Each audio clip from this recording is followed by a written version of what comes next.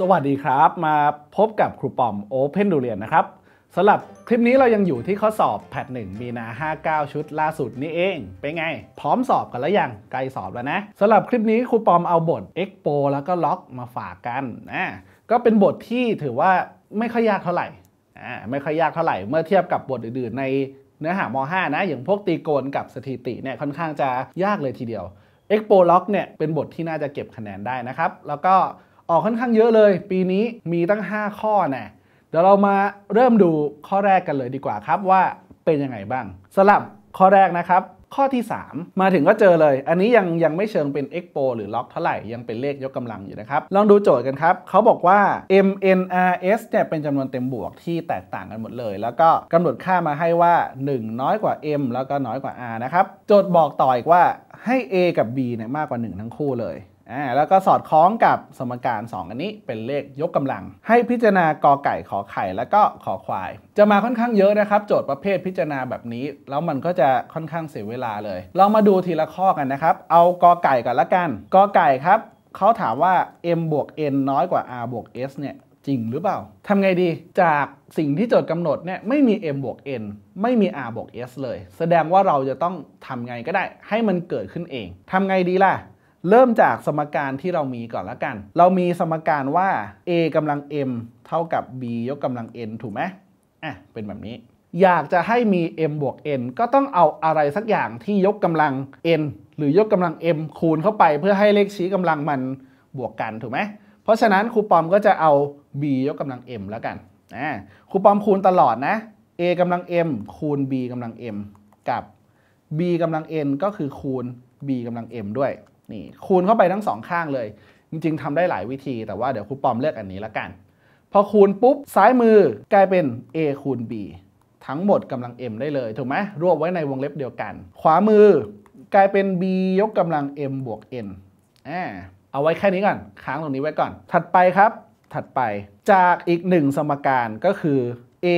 ยกกำลัง r เท่ากับ b ยกกำลัง s ทำนองเดียวกันเลย จะทำให้มี r บวก s ถูกไหมครูปอมก็คูณด้วยอะไร คูณด้วย b ยกกำลัง r เข้าไปปึ๊บคูณด้วย b ยกกำลัง r ทั้งสองข้างเลยนะ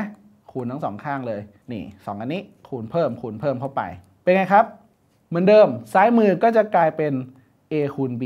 ทั้งหมดยกกำลัง r ขวามือ b ยกกำลัง r บวก s ได้แบบนี้แล้ว เป็นไง ถัดไปนะ a กับ b ของเราค่าเป็นไงบ้าง โจทย์บอกว่าไงครับ โจทย์บอกว่า a มากกว่า 1 โจทย์บอกว่า b มากกว่า 1 แสดงว่าพอเอามาคูณเป็น ab ก็จะต้องมากกว่า 1 ด้วยถูกไหมแสดงว่า ab ก็มากกว่า 1 เช่นกัน ทีนี้จากสมการจากสมการนี้ครับ1น้อยกว่า m น้อยกว่า r ที่เขาบอกมาเนี่ยเราก็เลยได้ว่า a คูณ b ยกกำลัง m น้อยกว่า a คูณ b ยกกำลัง r เพราะว่าจำนวนที่มากกว่า 1 ยิ่งยกกำลังยิ่งเยอะนะ แต่ถ้าจำนวนที่แบบเช่นเป็น1ส่วน2 ไม่ถึง 1 ยิ่งยกกำลังยิ่งน้อย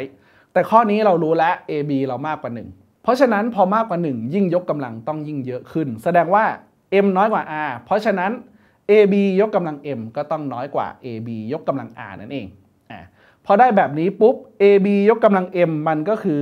b ยกกำลัง m บวก n ถูกไหมที่เราทำไว้ตอนแรก ab ยกกำลัง r ก็คือ b ยกกำลัง r บวก s ถูกไหมที่เราทำไว้อันแรก เกิดอะไรขึ้นครับ เลขยกกำลังฐานเดียวกัน เราจับเทียบได้เลย ข้อนี้เราก็เลยสรุปได้ว่า m บวก n ต้องน้อยกว่า r บวก s เพราะฉะนั้นกอไก่เป็นไงครับ ถูกไหมถูกต้องแล้ว วิธีการก็คือว่าหลักการข้อนี้เป็นไง โจทย์ไม่ได้ให้ m บวก n โจทย์ไม่ได้ให้ r บวก s มา เราจะต้องสร้างเองจากสมการที่โจทย์ให้ ก็ทำการคูณเข้าไปเพื่อให้เอาเลขชี้กำลังมาบวกกัน บวกกันปุ๊บพิจารณาให้ดี แล้วก็จับมาเทียบกันได้เลย พอเทียบกันปุ๊บกอไก่ถูกต้องนะ อันนี้อะผ่านไปหนึ่งอัน ถัดไปครับพิจารณาขอไข่ต่อ ข้อขอไข่นะครับเขาว่าไงบ้าง ขอไข่เนี่ยเนื่องจากอะไร เนื่องจากเรารู้แล้วว่า a มากกว่า 1 และ 1 น้อยกว่า m น้อยกว่า r เหตุผลเดิมเลย a มากกว่า 1 ยิ่งยกกำลังต้องมีค่ามากขึ้นถูกไหมเราจึงได้ว่า a ยกกำลัง m น้อยกว่า a ยกกำลัง r ด้วย เพราะว่า m มันน้อยกว่า r ถูกไหมตัวที่มากกว่า 1 ยิ่งยกกำลังก็ยิ่งเยอะขึ้น ถัดไปครับ โจทย์กำหนดสมการมาให้ 2 อันก็คือว่า a กำลัง n a กำลัง m นะ เท่ากับ b กำลัง n และ a กำลัง r เท่ากับ b ยกกำลัง s เพราะฉะนั้นในเมื่อตัวนี้นะ a กำลัง m น้อยกว่า a กำลัง r อันนี้ เราจึงสรุปได้ว่า b ยกกำลัง n ก็น้อยกว่า b ยกกำลัง s ด้วย ถูกไหมครับ ทีนี้ด้วยความที่เนื่องจาก b มากกว่า 1 อีกแล้ว เหตุผลเดิมเลย b มากกว่า 1 b ยิ่งยกกำลังต้องยิ่งมีค่ามาก แล้วเขาบอกว่าไง เขาบอกว่าอันเนี้ย b กำลัง n น้อยกว่า r อ่าน้อยกว่า b ยกกำลัง s เพราะฉะนั้น n ก็เลยต้องน้อยกว่า s ถูกไหม n ก็เลยต้องน้อยกว่า s พอ n น้อยกว่า s ปุ๊บจากต่อเลยนะ ข้อนี้หลายขั้นตอนหน่อยจาก m น้อยกว่า r เราก็เลยสรุปได้ว่า m กำลัง n น้อยกว่า r ยกกำลัง n แล้วก็จาก n น้อยกว่า s เราก็ได้ต่ออีกว่า r ยกกำลัง n น้อยกว่า r ยกกำลัง s จากสมบัติถ่ายทอดเป็นไงครับ เราก็เลยสรุปได้เป็นขั้นตอนสุดท้ายว่า m กำลัง n เนี่ยน้อยกว่า r ยกกำลัง s นั่นเอง เห็นไหมค่อยๆ ถ่ายทอดมาเรื่อยๆ นะ ข้อที่ 2 เนี่ย ขอไข่ ไม่ยากแต่ว่าค่อยๆ ต่อมาต่อมาเรื่อยๆ ก็เลยสรุปได้ว่า m ยกกำลัง n นั้นน้อยกว่า r ยกกำลัง s ถูกไหมครับ ข้อนี้ข้อนี้ก็ถูกต้องอ่าขอไข่ก็ถูกต้องนะครับ ต่อเลยครับ สุดท้ายก็คือข้อขอควาย ข้อขอควายเป็นไงบ้าง เมื่อกี้เราใช้ผลจากขอไข่เลยนะ จากข้อขอไข่เนี่ยเรารู้แล้วว่า n น้อยกว่า s ถ้า n น้อยกว่า s n ส่วน s ก็ต้องน้อยกว่า 1 ถูกไหม อันนี้ครูปอมองหารได้เลย เพราะว่า s เนี่ยเขาเขาไม่ติดลบอยู่แล้ว ทีนี้ n ส่วน s น้อยกว่า 1 จาก 1 น้อยกว่า m น้อยกว่า r เพราะฉะนั้น n ส่วน s คือจำนวนที่ไม่ถึง 1 ยิ่งยกกำลัง ต้องยิ่งน้อยลง เราจึงได้ว่า n ส่วน s ยกกำลัง m นั้นมากกว่า n ส่วน s ยกกำลัง r กลับกันถูกไหม เพราะว่า n ส่วน s ไม่ถึง 1 นี่นาพอไม่ถึง 1 ปุ๊บ ยิ่งยกกำลังค่ายิ่งน้อย ดังนั้นเอาไปยกกำลัง r ค่าก็เลยยิ่งน้อย ก็ต้องน้อยกว่ายกกำลัง m นั่นเอง เพราะฉะนั้นคอควายถูกไหมก็ ยังคงถูกต้อง เรียบร้อยครับ ข้อนี้สรุปว่าถูกทั้ง 3 อันเลย ทั้งกอทั้งขอทั้งคอเลยก็คือช้อยดีนั่นเอง เป็นไง ถามว่ายากไหมข้อนี้ไม่ยากแต่ถ้าเรานึกนั่งนึกแล้วดูไม่ออกเลยว่าจะเริ่มยังไงมันก็ไปไม่ได้นะ เพราะฉะนั้นค่อยๆ จะต้องแม่นเรื่องสมบัติเลขยกกำลังหน่อยอ่าก็จะได้คะแนนและข้อนี้ถือว่าไม่โหดร้ายเท่าไหร่สำหรับข้อสอบแพทหนึ่งนะครับ เดี๋ยวมาดูต่อข้อถัดไปดีกว่าครับ สำหรับข้อที่ 2 ของเรื่อง Expo Lock นะครับ อันนี้คือข้อที่ 8 นั่นเองอะก็มาเป็น Expo กับ Lock แท้ๆแล้วโอเคไหมครับ ข้อนี้เป็นเรื่องของการแก้ระบบสมการนะครับเขาให้สมการมา 2 อัน อันที่ 1 เป็น Lock อันที่ 2 เป็น Expo เดี๋ยวเราเริ่มแก้ทีละอันดีกว่า แล้วค่อยมาเช็คกันว่าช้อยไหนถูกต้องนะครับ เอาสมการแรกก่อน 2 ล็อกฐาน 2 ของ y เท่ากับ c บวกล็อก ฐานรูท2ของ x แน่นอนสมการล็อกเราก็ต้องทำล็อกให้มีฐานเหมือนกัน ถูกไหมทำล็อกให้มีฐานเหมือนกันเลยทำยังไงดี อันแรกเนี่ยล็อกฐาน 2 อยู่แล้วครูปอมทำแค่อย่างเดียวคือเอา 2 ตัวนี้ขึ้นมาอยู่ข้างในนะ ขึ้นมาอยู่ข้างใน เพราะว่าเดี๋ยวพอล็อกฐาน 2 เหมือนกันหมดปุ๊บ เราสามารถตัดล็อกทิ้งได้เลย อันนี้ก็จะเป็นล็อกฐาน 2 ของ y ยกกำลัง2อ่าเท่ากับ4อะ4เนี่ยจะเปลี่ยนให้เป็นล็อกได้ไหม เปลี่ยนได้นะ ก็คือล็อกฐาน 2 ของ 2 ยกกำลัง 4 นั่นเองถูกไหมเพราะว่าถ้าเราเอา4ลงมาปุ๊บล็อก 2 ฐาน 2 ก็คือ 1 บวกครับ อีกอันหนึ่งเศษ1ส่วน2ถูกไหมตรงนี้ล็อกเนี่ยฐานรูท2เนี่ยก็จะเป็น 1 ส่วน 1 ส่วน 2 เอาออกมาข้างนอก ฝั่งนี้ก็จะเป็นล็อก x ฐาน 2 นะครับอ่าซึ่งเจ้าตัวนี้ก็คือ 2 นั่นเองถูกไหม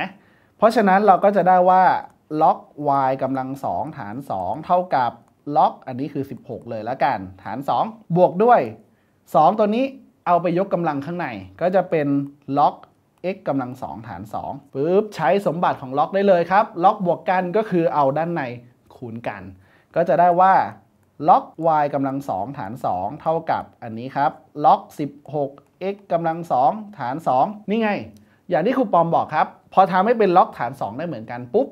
เราก็เอาล็อกทิ้งเลย โยนทิ้งไปเราก็จะได้ว่า y กำลัง2เท่ากับ 16 x กำลัง2นี่ก็คืออันแรกสมการแรกที่เราได้มา ถูกไหม y กำลัง2เท่ากับ 16x กำลัง2หรือว่าจะจัดรูปอีกทีหนึ่งก็คือได้ว่า y เท่ากับบวกลบ 4x ได้เลย ถอดรากที่ 2 แต่เป็นไง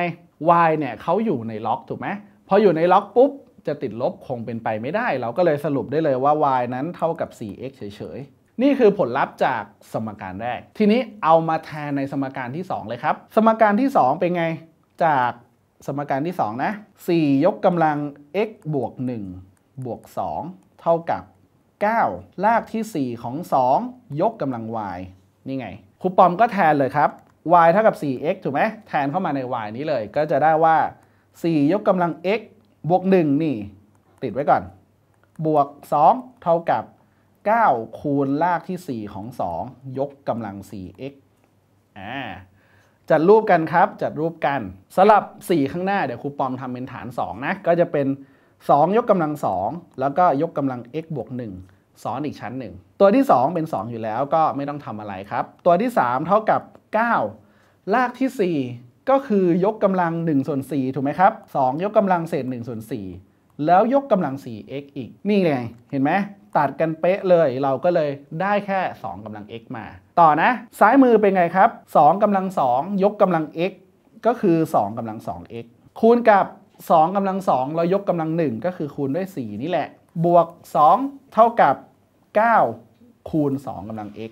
จัดรูปครับ 4 คูณด้วยอะไร คูณด้วยตัวนี้ครับ 2 ยกกำลัง 2x ลบ 9 คูณ 2 ยกกำลัง x บวก 2 เท่ากับ 0 อ่า ที่เหลือแยกตัวประกอบได้เลยถูกไหมแยกตัวประกอบได้เลยก็จะเป็นอะไรบ้าง 4 คูณ 2กำลัง 2x อ่ากำลัง x อย่างเดียวนะครับ อันนี้ แล้วก็ 2กำลัง x ใส่เข้าไปครับ ตรงนี้ลบ2ตรงนี้ลบ1ถูกไหมใครไม่ชินก็แทนตัวแปรก่อนก็ได้นะ2กำลัง x เพราะฉะนั้นจากตรงนี้ก็จะได้มา 2 อันก็คือ 2กำลัง x นั้นเป็น1ส่วน4หรือว่าเป็น 2 ก็ได้ เพราะฉะนั้น x เดียวก็จะเป็นอะไรบ้าง เป็นลบ2หรือไม่ก็เป็น 1 แล้วโจทย์ว่าไงครับ โจทย์เขาบอกว่า x จะต้องมากกว่า 0 ไม่ใช่โจทย์สิ คือมันเป็นเงื่อนไขจากสมการที่แล้ว x อยู่ในล็อกถูกไหมเพราะฉะนั้น x ติดลบเป็นไปไม่ได้ เราก็เลยตัดลบ2ทิ้ง ก็จะได้คำตอบคือ x เท่ากับ 1 นั่นเอง x เท่ากับ 1 y เท่ากับ 4x ก็คือ y เท่ากับ 4 อ่า นี่ก็คือคำตอบของระบบสมการของข้อนี้นะครับ เราก็จะเอา x เป็น 1 y เป็น 4 ไปเช็คตัวเลือกกัน อ่า มาดูกันเลย เป็นไงบ้าง x เท่ากับ 1 y เท่ากับ 4 นะ อันแรก 1กำลัง2เป็น 1 ถูกไหม บวก 4กำลัง2เป็น 16 ได้ 17 อ้าว ถูกตั้งแต่ช้อยแรกเลยช้อย A ถูกต้อง อันที่ 2 ลองเช็คดูซิผิดยังไง 1กำลัง 3 ได้ 1 บวก 4กำลัง3โอ้ไปไกลละ 64 ยังไงก็ผิด ช้อย C ครับ 1กำลัง 2 ได้ 1 เท่ากับ4ลบ1ก็ไม่ใช่ถูกไหมอันที่ 3 ครับ อันที่ 4 นะ ช้อยดี4กำลัง 2 เป็น 16 เท่ากับ1บวก4อันนี้ก็ไม่ใช่ แล้วก็สุดท้าย 1 บวก 2 4 8 ได้ 7 ก็ไม่ใช่ สรุปว่าถูกต้องก็คือช้อย A นั่นเองอ่าเห็นไหม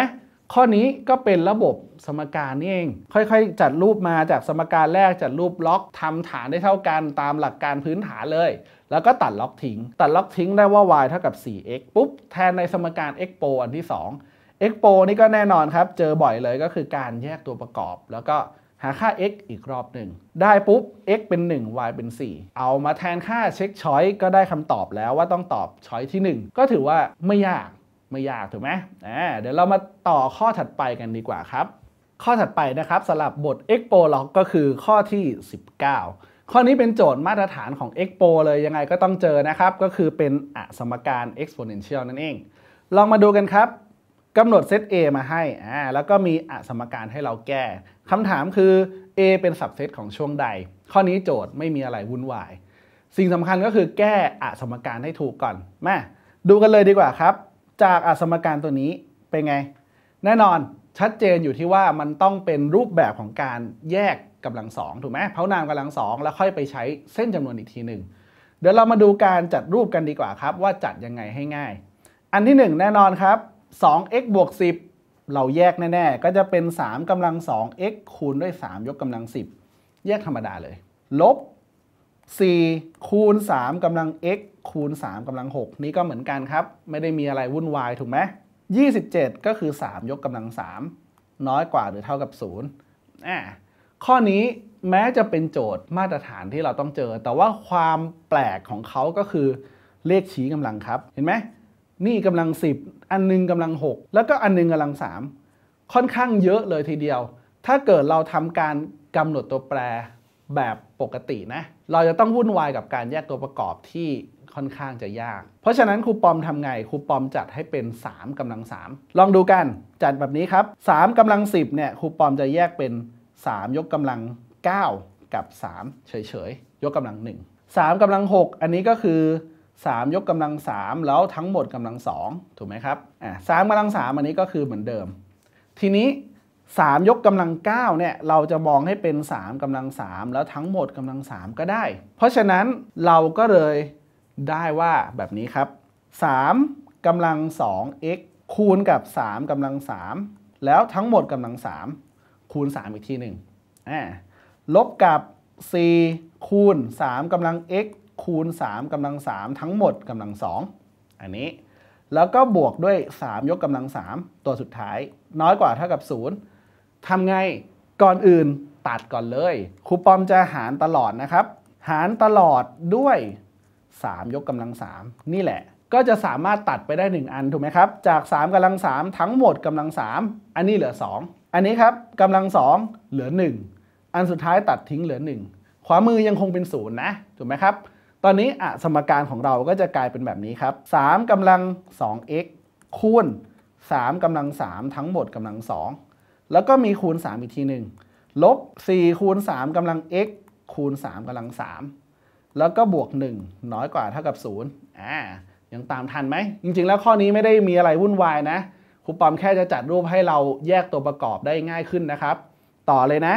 สังเกตอันหน้าครับ 2 อันนี้มีกำลัง2ทั้งคู่ก็จับไว้รวมกันเลยถูกไหมกลายเป็น 3กำลัง3คูณ3กำลัง x ทั้งหมดกำลัง2นี่แล้วมี 3 ข้างหน้านะ จากตัวหลังเนี่ยครูปอมไปไว้ข้างหน้าเลย อันที่ 2 ลบ 4 คูณ 3กำลัง 3 คูณ 3กำลัง x เห็นแล้วยังว่าจะทำอะไร ครูปอมจะกำหนดตัวแปรแล้วนะ แต่ไม่ได้กำหนดแค่ 3กำลัง x ครูปอมจะกำหนดทั้งวงเล็บเลย ก็คือให้ 3กำลัง 3 คูณ 3กำลัง x ทั้งก้อนนี้นะ สมมุติเป็นตัวแปร 1 ตัว อันนี้ใช้เป็นตัวตัว p แล้วกันจะไม่ใช้เป็นตัว a เพราะว่าเดี๋ยวไปซ้ำกับชื่อเซตอ่า เป็นไงครับ ก็จะได้ว่า 3p กำลัง2ลบ 4p บวก 1 น้อยกว่าเท่ากับ 0 เห็นไหม ถ้าจัดแบบนี้เนี่ยแยกตัวประกอบสบาย ก็จะได้ว่า 3p ลบ 1 แล้วก็ p ลบ 1 น้อยกว่าเท่ากับ 0 ใส่เส้นจำนวนได้เลย มีอะไรบ้างครับ อันนี้มี 1 ส่วน 3 แล้วก็มี 1 ถูกไหม ได้ช่วงปิดนี้มา อะ นี่คือตัว p นะ อันนี้คือตัว p นะ p อยู่ในช่วงปิดก็คือเศษ1ส่วน3จนถึง 1 ยังไม่จบครับ ถัดไปหา x จากอะไรครับจาก p อยู่ตั้งแต่1ส่วน3ถึง 1ครูปอมแทนกลับครับเมื่อกี้ p ก็คือ3กำลัง3คูณ3กำลัง x ถูกไหมแทนกลับมาเลย เอา3กำลัง3หารตลอดครับ ก็จะกลายเป็นเศษ1ส่วน3ยกกำลัง 4 น้อยกว่าเท่ากับ 3กำลัง x น้อยกว่าเท่ากับ1ส่วน3ยกกำลัง3 รียบร้อยครับ ตรงนี้ก็คือ 3กำลังลบ 4 อันกลางคือ 3กำลัง x ขวามือคือ 3 ยกกำลังลบ 3 เป็นฐาน 3 เหมือนกันหมด เพราะฉะนั้นก็เลยสรุปได้ว่าลบ 4 น้อยกว่าหรือเท่ากับ x แล้วก็น้อยกว่าหรือเท่ากับลบ 3 ด้วย นี่ก็คือคำตอบของเราถูกไหม ถ้าเขียนเป็นช่วงก็คือ x อยู่ในช่วงปิดลบ4ถึงลบ3แอบเป็นแบบนี้ เป็นแบบนี้ ทีนี้เขาถามว่า เป็นสับเซตของข้อไหน เป็นสับเซตของข้อไหน มาดูกันอยู่ข้อไหนครับ เมื่อกี้ลบ4ถึงลบ3นะ แน่นอนช้อย B นั่นเองช้อย A ขาดอะไรช้อย A ขาดลบ3ถูกไหมช้อย C ขาดลบ4ไม่ถึงช้อย D นี่ฝั่งลบไม่มีเลยช้อย E ด้วยฝั่งลบไม่มี ก็เลยสรุปได้ว่าคำตอบของเราเป็นสับเซตของช่วงเปิดลบ5ถึงลบ2หรือว่าช้อย B นั่นเองอะข้อนี้ไม่มีอะไรยาก แต่ว่า มีทริคที่จะช่วยให้เราสามารถจัดรูปแล้วแยกตัวประกอบได้ง่ายขึ้นนะครับ ก็ห้ามพลาดนะสำหรับข้อนี้ เดี๋ยวเรามาดูข้อถัดไปกันดีกว่าครับว่าจะยากหรือเปล่า ข้อถัดไปครับ เรากระโดดมาที่ข้อ 30 กันเลย อันนี้ก็เป็นข้อสุดท้ายของพาร์ท choice นะครับ ส่วนใหญ่ก็จะเป็นข้อที่อาจจะไม่ได้ไม่ได้เป็นเนื้อหาตรงๆ สักเท่าไหร่ อย่างข้อนี้เป็นไง เห็นโจทย์ก็มึนแล้วถูกไหมครับ ให้มา 3 ตัวก็คือ a b c อะไรก็ไม่รู้ เป็นรากที่ 4 เยอะแยะไปหมดเลย แล้วก็ถามว่า a ลบ b บวก c ได้เท่าไหร่ แสดงว่าข้อนี้เดี๋ยวเราจะต้องค่อยๆ จัดรูปทั้ง 3 ก้อน แล้วก็เอามาบวกลบกัน แล้วดูว่าได้คำตอบเป็นไงนะครับ เรามาดูกัน เดี๋ยวเราจัดทีละตัวดีกว่า เอาอันแรกเลยครับสำหรับตัว a ตัว a เนี่ย ก็คือ 2 ส่วนรากที่ 4 ของ 3 ลบรากที่ 4 ของ 3 อีกทีหนึ่ง จัดรูปก็จัดยังไงรูปอย่างง่ายก็คือด้านล่างจะต้องไม่ติดรากถูกไหมเพราะฉะนั้นครูปอมก็จะคูณรากที่ 4 เข้าไปทั้งเศษทั้งส่วนเลย ก็จะได้เป็น 2 คูณรากที่ 4 ของ 3กำลัง 3 คูณแบบนี้นะ ทั้งเศษทั้งส่วนนะ เดี๋ยวสังเกตดูว่าทำไมครูปอมถึงคูณด้วยตัวนี้ตัวหลังนี่ไม่ทำอะไรนะครับ ยังลบธรรมดาอยู่นี่ คูณเข้าไป 2 อันนะ ก้อนนี้นี่2อันนี้ ทีนี้พอคูณเข้าไปปุ๊บด้านล่างเป็นไง 3 เจอกับ 3 ยกกำลัง 3 ก็จะกลายเป็น 3 ยกกำลัง 4 ซึ่ง 3 ยกกำลัง 4 เจอกับรากที่ 4 ก็เลยหลุดออกได้เลยถูกไหมครับ หลุดออกได้เลย จริงๆ หลุดแล้วต้องเป็นค่าสมบูรณ์ด้วย แต่ว่าค่าสมบูรณ์ของ 3 ก็ไม่ต้องใส่แล้วเนาะเท่ากับครับ กลายเป็น 2 รากที่ 4 ของ 27 นี่ไง ข้างบนธรรมดา ข้างล่างกลายเป็น 3 เฉยๆ3กำลัง 4 เจอรากที่ 4 ก็ต้องหลุดออก ลบกับตัวนี้ไม่ได้ทำอะไรนะ รากที่ 4 ของ 3 เอาแค่นี้ก่อน ตัว A เนี่ยครูปอมจัดแค่นี้ค้างไว้ก่อนนะ ถัดไปมาดูตัว B ดีกว่าครับ ตัว B ของเรามีอะไรบ้าง ตัว B มีรูท3ลบ1ส่วนรูท3หารด้วย รากที่ 4 ของ 3 ลบรูท1ส่วนรูท3อีกทีหนึ่งตัวที่น่ามึนที่สุดก็คือตัวสุดท้ายเลยเห็นไหมตัวสุดท้ายนี่เป็นไงครับไอ้เจ้ารูทซ้อนรูทเนี่ยรูท1ส่วนรูท3จริง ๆ แล้วมันก็คือ 1 ส่วนรูทของรูท3 ซึ่งรูทซ้อนกันก็คือรากที่ 4 อีกแล้ว ก็จะได้เป็น 1 ส่วนรากที่ 4 ของ 3 เนี่ยอะเห็นแล้วยัง เพราะฉะนั้นตัว b จะอยู่ในรูปนี้ครับรูท3ลบ1ส่วนรูท3หารด้วยรากที่ 4 ของ 3 ลบ 1 ส่วนรากที่ 4 ของ3อ่าซึ่งเราสามารถที่จะทำการส่วนให้เท่ากัน ถูกไหมทำส่วนให้เท่ากัน แล้วก็ลบกันได้เลย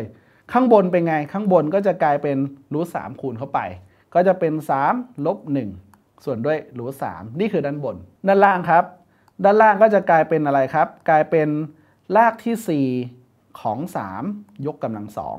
อ่าคูณเข้ามา คูณเข้ามาเพื่อให้ส่วนเท่ากัน ลบ 1 เหมือนกันครับ ด้านล่างนี้ก็จะเป็นรากที่ 4 ของ 3 นะอะแบบนี้ เกิดอะไรขึ้นบ้างครับ ด้านบนไม่มีอะไรละ ด้านบนกลายเป็น 2 ส่วนรูทสามนะ ตัวนี้เท่ากับ 2 ส่วนรูทสาม ด้านล่างครูปอมเปลี่ยนเป็นคูณแล้วกลับเศษส่วนเลยละกัน ก็จะกลายเป็นรากที่ 4 ของ 3 นะครับ ส่วนด้วยรากที่ 4 ของ 3กำลัง 2 ก็คือรากที่ 4 ของ 9 แต่ว่าเดี๋ยวครูปอมไม่ไม่ใส่เป็น 9 นะค้างไว้อย่างนี้ดีกว่าลบ1ครับ ทีนี้ครับรากที่ 4 เจอกับยกกำลัง 2 เป็นไง รากที่ 4 คือกำลัง1ส่วน4เจอยกกำลัง 2 เข้าไปกลายเป็นกำลัง1ส่วน2มันก็คือรูท3ดีๆ นี่เอง เพราะฉะนั้น ตัว b ของเราก็เลยกลายเป็นแบบนี้ครับ 2 ส่วนรูท3คูณด้วยรากที่ 4 ของ 3 หารด้วยรูท3ลบ1ก็สามารถคูณกันได้เลยถูกไหมคูณกันด้านบนคูณด้านบน ด้านล่างคูณด้านล่าง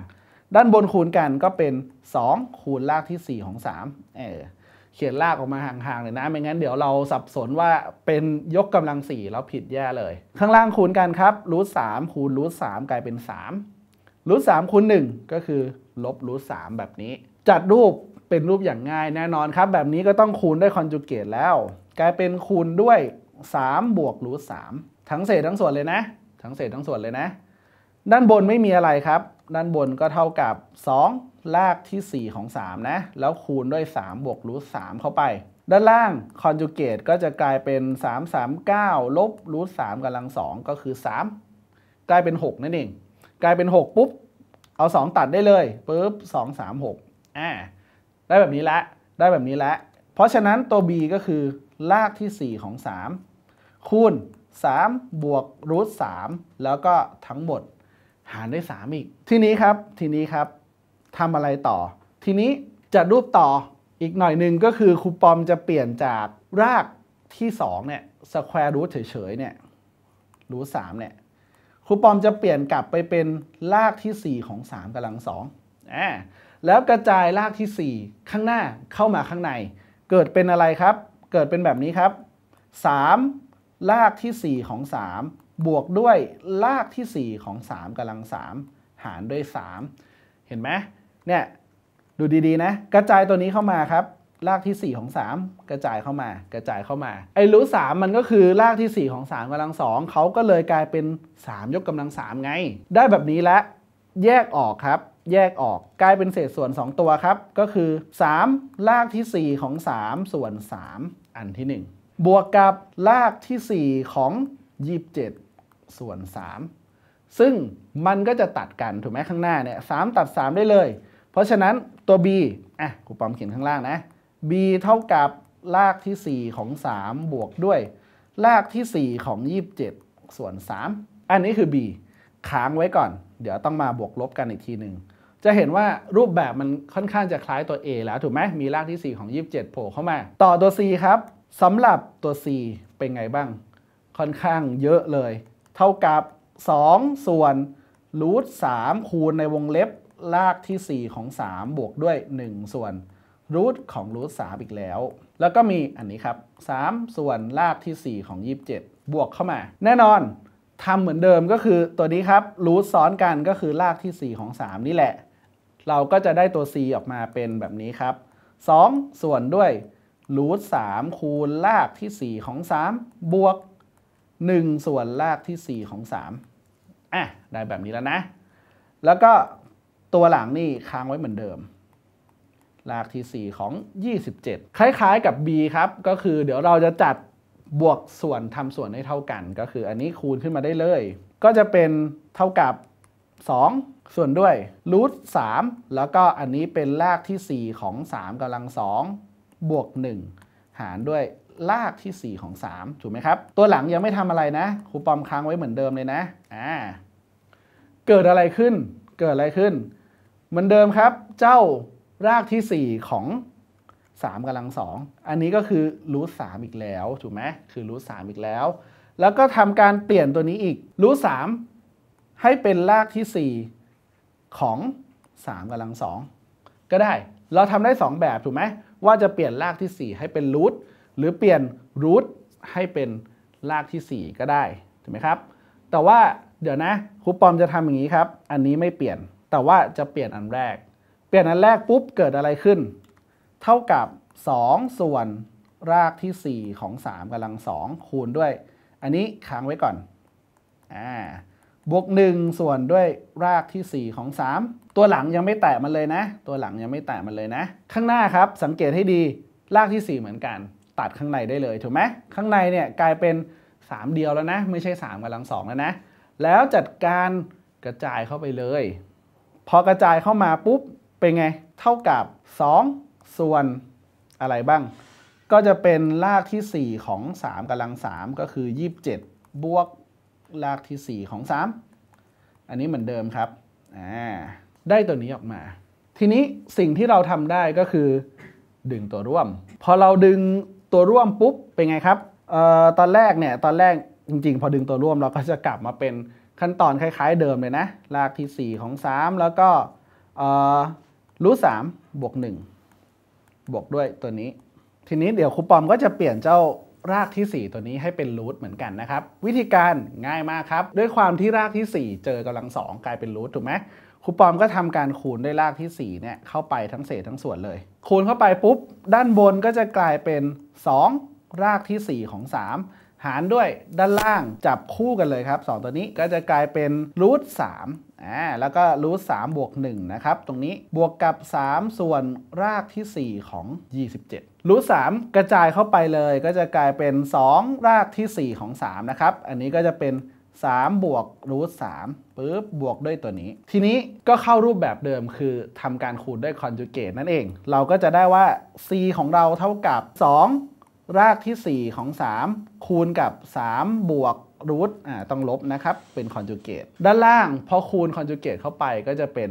หน้ากำลังสองลบหลังกำลังสองถูกไหมครับ ได้แบบนี้ออกมา ใกล้จบแล้วตัว c ของเรา9ลบ3เหลือ 6 เหมือนเดิมครับ ตัดเลยปุ๊บเหลือ 3 เหลือ 3 แล้วเดี๋ยวครูปอมแยกออกนะครับ แยกออกก็จะกลายเป็นรากที่ 4 ของ 3 คูณกับ 3 ในวงเล็บข้างใน ลบกับรากที่ 4 ของ 3 คูณกับรูท3 ทั้ง 2 ตัวนี้มีส่วน 3 ทั้งคู่นะครับ แยกออกเป็นเศษส่วน 2 ก้อน แล้วก็ขวามือก็คือ 3 ส่วนรากที่ 4 ของ 27 ก้อนแรกไม่มีปัญหาครับ ตัดเลย 3พึบพึบทิ้ง ก้อนนี้ครับเป็นไงรากที่ 4 กับรากที่ 2 เราเปลี่ยนให้อยู่ในรูปแบบเดียวกันก็คือเป็นรากที่ 4 เหมือนกัน ก็จะได้ว่า c ของเราเนี่ยก็คืออะไรครับ รากที่ 4 ของ 3 ลบกับรากที่ 4 ของ 3 คูณ รากที่ 4 ของ 3 ยกกำลังสองถูกไหมมีส่วน 3 ด้วยนะอันนี้ห้ามลืม บวก 3 ส่วนรากที่ 4 ของ 27 อันนี้คือ c นะครับ c ของเราก็จะกลายเป็นรากที่ 4 ของ 3 ลบรากที่ 4 ของ 27 ส่วน 3 ถูกไหมแล้วก็บวก 3 ส่วนรากที่ 4 ของ 27 อันนี้คือตัว 4 อันนี้คือตัว 4 ทีนี้ครับสุดท้าย โจทย์ต้องการให้เอา a ลบ b แล้วก็บวก c นะครับ ก็จัดการเลยมา a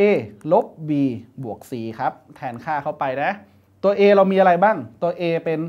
2 รากที่ 4 ของ 27 ส่วน 3 ลบรากที่ 4 ของ 3 ถูกไหมอันนี้ a ใส่วงเล็บไว้ด้วย ลบ b ครับ b คือรากที่ 4 ของ 3 บวกรากที่ 4 ของ 27 ส่วน 3 นี่คือ b แล้วก็บวก c ครับ c ก็จะมีรากที่ 4 ของ 3 ลบรากที่ 4 ของ 27 ส่วน 3 บวก 3 ส่วนรากที่ 4 ของ 27 สังเกตเห็นไหมครับ นี่ไง ข้อดีของการจัดรูปของเราก็คือว่ามันตัดเลยครับ ตัวนี้นะ รวมกันลบเข้ามา แล้วก็เอามารวมกับ ลบตัวนี้ กลายเป็นลบ2ถูกไหมกลายเป็นลบ2นะ เท่ากับ 2 รากที่ 4 ของ 27 ส่วน 3 ลบรากที่ 4 ของ3ปุ๊บอันนี้ลบรากที่ 4 ของ 3 ลบ 2 รากที่ 4 ของ 27 ส่วน 3 แล้วก็บวกรากที่ 4 ของ 3 แล้วก็มีตัวสุดท้ายครับก็คือ 3 ส่วนรากที่ 4 ของ 27 จัดการเลยครับ ลบนี่ บวกนี่หายไป บวกอันนี้ลบอันนี้หายไป ตอนนี้เหลืออะไรบ้าง ตอนนี้เราเหลือก็คือ รากที่ 4 ของ 3 นะ เป็นลบด้วย แล้วก็บวกด้วย 3 ส่วนรากที่ 4 ของ 27 ครับ ถัดไปครับ เราก็จัดการทำส่วนให้เท่ากันได้เลย โดยการคูณด้วยรากที่ 4 ของ 27 เข้าไปนะครับ ตรงนี้คูณรากที่ 4 ของ 27 หรือว่ารากที่ 4 ของ 3กำลัง3นั่นเอง หารด้วยรากที่ 4 ของ 3กำลัง3คูณทั้งเศษทั้งส่วนนะครับ เขียนไหมนี่ต้องเป็นกำลัง 3 นะ บวก 3 ส่วนตัวนี้อ่าเรียบร้อยครับ ข้างบนเกิดอะไรขึ้นนี่ไง 3 กับ 3กำลัง 3 กลายเป็น 3กำลัง 4 ถูกไหมเจอรากที่ 4 เข้าไป ก็หลุดออกได้เลย กลายเป็นลบ 3 ส่วนรากที่ 4 ของ 27 บวกด้วย 3 ส่วนรากที่ 4 ของ 27 เรียบร้อยทำมาแทบตายสุดท้ายแล้วคำตอบก็คือ 0 เห็นไหม ข้อนี้เนี่ยความยากก็คือเราจะจัดรูปยังไงให้เขาสามารถตัดกันได้ เริ่มจากการจัด A จัด B แล้วก็จัด C ก่อนเลยเนี่ยทั้ง 3 ตัวเนี่ยจะอยู่ในรูปของรากที่ 4 ของ 3 อะไรเยอะแยะไปหมดเลยครูปอมก็พยายามจัดให้เป็นรูปอย่างง่ายก็คือมีอะไรบ้าง 1 ก็คือส่วนต้องไม่ติดราก แล้วก็พยายามจัดให้ดูง่ายที่สุดแยกเศษส่วนออกมาตัดให้เป็นเศษส่วนอย่างต่ำนะ ทั้ง A ทั้ง B ทั้ง C เลย ทั้ง B ทั้ง C นี่ก็จะมีการคูณด้วยคอนจูเกตด้วย ก็ตัดออกมาเรียบร้อยปุ๊บ a ลบ b บวก c ค่อยๆ ตัดไปตัดมาสุดท้าย เหลือแค่ศูนย์เองทำมาแทบตายเลยข้อนี้ เป็นไง ถือว่าเป็นข้อยากข้อหนึ่งเลยนะข้อนี้คำตอบของเราก็คือช้อยสุดท้ายเลยช้อย e เดี๋ยวเรามาดูต่อข้อสุดท้ายสำหรับ expo lock นะครับว่าเป็นยังไงบ้างสำหรับ expo lock ข้อสุดท้ายก็คือข้อต่อกันเลยครับ เป็นข้อ 31 ข้อแรกของส่วนเติมคำตอบนั่นเองอะ จทย์ข้อนี้ต้องบอกว่าเป็นโจทย์มาตรฐานอีกแบบหนึ่งที่แพทหนึ่งออกตลอดเลย แล้วยิ่งข้อนี้มาแพทเทิร์นเดียวกับรอบตุลา 58 เลยนะ เป็นไงครับ โจทย์กำหนดเซต A เซต B มาให้ ถามว่าสมาชิกที่มีค่ามากที่สุดของ B คืออะไร ก่อนอื่นแก้ A ก่อนแล้วกัน เพราะว่าเซต B ก็เอาสมาชิกจาก A ถูกไหมสำหรับเซต A นะครับ สังเกตดูนะ เจ้าสมการ expo 3คูณ15 ยกกำลัง ค่าสมบูรณ์ x บวก 25 เท่ากับ 5 ยกกำลังค่าสมบูรณ์ x บวก 25 คูณด้วยตัวนี้นะ แน่นอนหลักการก็คือการจัดรูปแล้วก็กำหนดตัวแปรนะครับ เพื่อให้ดูง่ายที่สุด ข้อสังเกตของข้อนี้เป็นยังไง เรามี 5 ยกกำลังค่าสมบูรณ์ x เรามี 3 ยกกำลังค่าสมบูรณ์ x แล้วก็มี 15 15 ก็คือ5คูณ3ถูกไหมเพราะฉะนั้นครูปอมสามารถเขียนตัวนี้ให้เป็น 5 ยกกำลังค่าสมบูรณ์ x คูณ 3 ยกกำลังค่าสมบูรณ์ x ได้เลย แล้วจัดการกำหนดตัวแปรซะ พอกำหนดตัวแปรปุ๊บครูปอมก็จะกำหนดว่าให้สามกำลังค่าสมบูรณ์ x สมมุติเป็นเป็นตัว p แล้วกันครูปอมจะไม่ใช้ a b นะ เดี๋ยวมันซ้ำกับชื่อเซต และ 5 ยกกำลังค่าสมบูรณ์ x เท่ากับ q แทนค่าเข้าไปครับ ก็จะเป็นอะไรบ้าง 3 pq บวก 25อ่าเท่ากับ q บวก 25 คูณด้วย 3p ถูกไหมครับ 3กำลังค่าสมบูรณ์ x แล้วก็แยกออกมาเป็นคูณกับ 3กำลังหนึ่งนั่นเอง ทีนี้ถัดไปก็คือขั้นตอนการแก้สมการแล้ว มาดูกันสมการแบบนี้เป็นไงบ้าง ขั้นที่ 1 ครับ เอามาไว้ข้างเดียวกันให้หมดเลย ก็จะเป็น 3pq ลบ q ลบ 75p บวก 25 เท่ากับ 0 ดึงตัวร่วมครับ ดึงตัวร่วม อันแรกครูปอมดึง q นะ q เนี่ยดึงออกมาเลย ก็จะกลายเป็น q คูณด้วย 3p ลบ 1 อันที่ 2 ดึงอะไร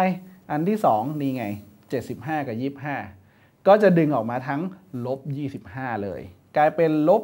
25 คูณ 3p ลบ 1 เหมือนกันเป๊ะ เห็นไหม แพทเทิร์นเดิมเลย ปีที่แล้วรอบที่แล้วตุลา 58 ก็ออกแบบนี้แหละ เราก็สามารถดึงตัวร่วมซ้ำอีกทีหนึ่งก็คือทั้งวงเล็บนี้ เราก็เลยได้สมการว่า 3p ลบ1คูณด้วย q ลบ 25 เท่ากับ 0 แน่นอนครับ 2 ตัวคูณกันได้ 0 ต้องมีอันใดอันหนึ่งเป็น 0 แน่ ๆ ก็คือ 3p ลบ1เป็น 0 หรือไม่ก็ q ลบ 25 เป็น 0 สิ่งที่เราได้ก็คือว่า p เท่ากับ1ส่วน3หรือ q เท่ากับ 25 ก็ได้ ยังไม่จบนะ เราหา x นะ ไม่ได้หา p ไม่ได้หา q นะครับ เราแทนค่าต่อกันนะครับ จาก p เป็นเศษ1ส่วน3 p คืออะไร p คือ 3กำลังค่าสมบูรณ์ x ถูกไหมเท่ากับ1ส่วน3 1ส่วน3ก็คือ 3กำลังลบ 1 เราจึงได้ว่าค่าสมบูรณ์ x เท่ากับลบ1เฮ้ย เกิดอะไรขึ้น ค่าสมบูรณ์ได้ติดลบ ยังไงก็เป็นไปไม่ได้ถูกไหมอันนี้ก็เลยไม่ได้คำตอบมาเลย ไม่มีทางที่เราจะใส่ x เป็นอะไรแล้วได้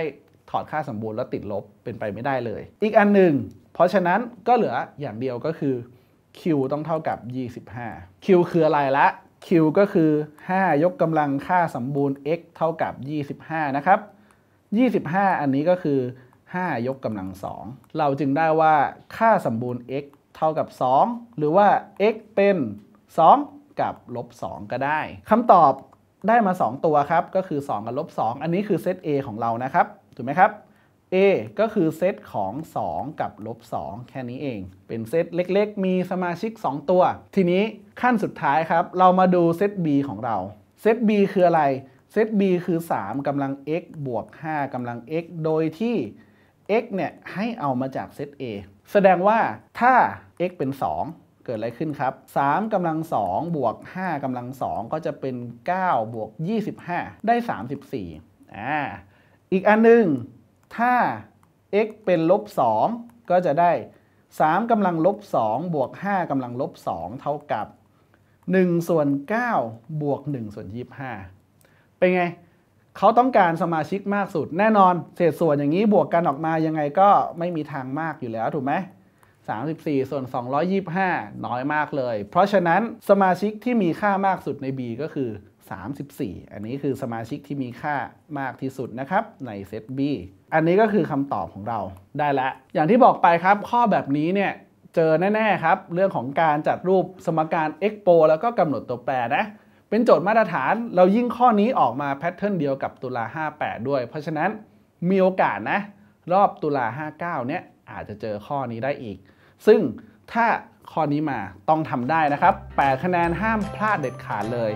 ไม่ยากแล้วก็แก้ได้เร็วด้วยเห็นไหมครับสำหรับเรื่องของ Expo Lock ก็ประมาณนี้ ในคลิปนี้ก็สวัสดีครับ